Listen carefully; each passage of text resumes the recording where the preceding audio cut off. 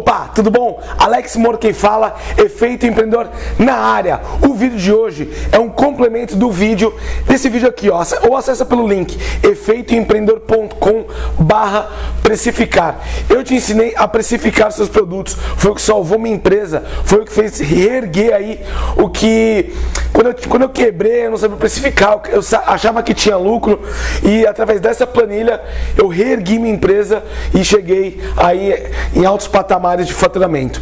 E eu quero te ajudar. Vai lá, acessa o link, eu clico aqui em cima, vai para aquele vídeo que eu ensino a usar a planilha.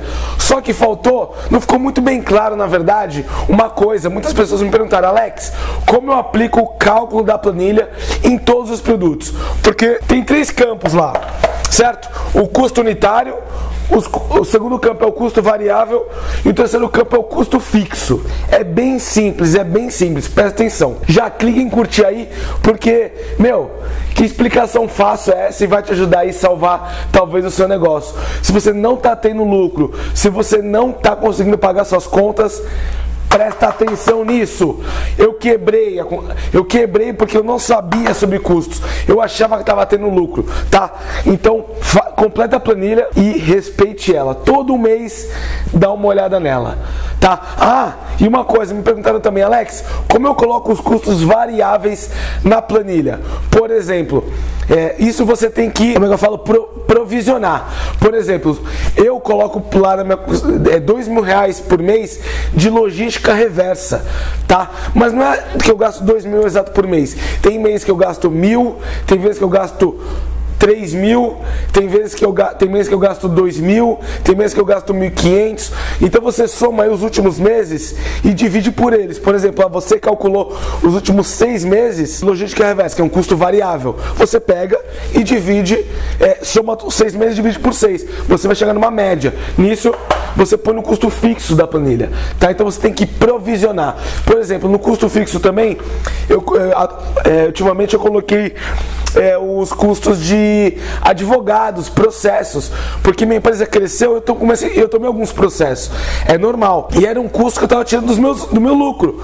Né? Se é um custo que não está provisionado, então eu peguei o que eu paguei de advogado, de processos, dividi e cheguei numa média de 500 reais por mês.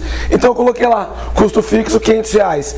Essa planilha que você vai encontrar no link, você tem que todo mês ver se está ok, ver se está ok, tá bom? Vai lá pro link, eu ensino como usar ela. Esse vídeo é para falar sobre como você aplicar então o custo unitário. Então, por exemplo, esquece custo de embalagem, tá? Esquece. O, o, campo que você vai ter que lidar é o, o, primeiro campo, o custo unitário lá. Então você colocou o custo do produto, por exemplo, 30 reais teu produto, ele vai dar um cálculo para você, certo? Se você já baixou a planilha, você vê que ele dá um cálculo, que aparece preço final sem frete. Por exemplo, vou, usar a planilha aqui, ó. Então, por exemplo, na minha planilha, quando eu ponho lá 30 reais, fala que eu tenho que vender esse produto a 49 e 80, tá? Beleza, esse é o preço que eu tenho que vender o meu produto para eu conseguir, conseguir ter a, a, margem de lucro que eu, que eu quiser, por exemplo, 10%, tá? 10, o que você configurou lá no final da planilha. Beleza? O que eu quero te ensinar aqui é como você aplicar em todos. Pô, Alex, eu vou ter que colocar produto a produto na planilha para saber o preço? Não. O que, que você vai fazer? Anota isso, foi R$ 49,80 o produto de 30 reais, certo? O que, que você vai fazer?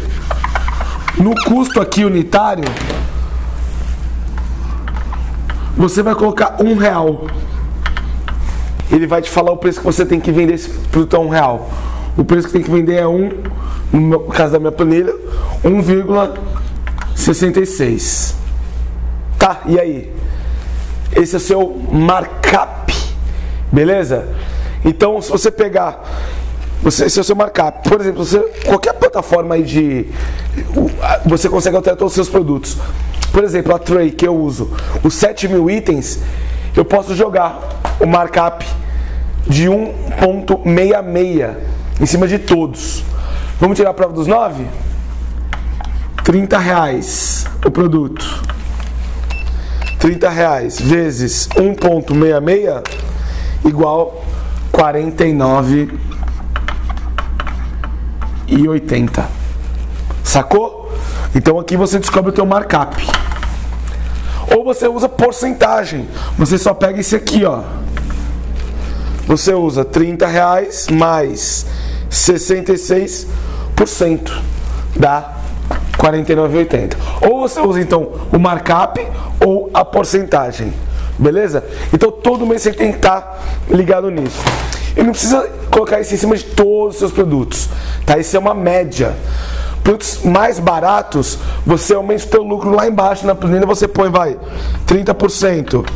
Ele vai dar um outro markup para você, ou uma outra porcentagem. E lá, por exemplo, eu falo da Trey porque eu uso a Trey. Na Trey eu posso colocar, por exemplo, o markup de produtos que custam de zero reais a 20 reais, eu uso o markup é, 0,80, o que minha planilha apontar. De 30 reais, um centavo até 100 reais, eu uso o markup de 10% de lucro, que é 166, tá? De 100 reais, 100,1 centavo a mil reais, eu uso 5%, é o markup mais barato. Isso é a sua estratégia, tá? Vá testando.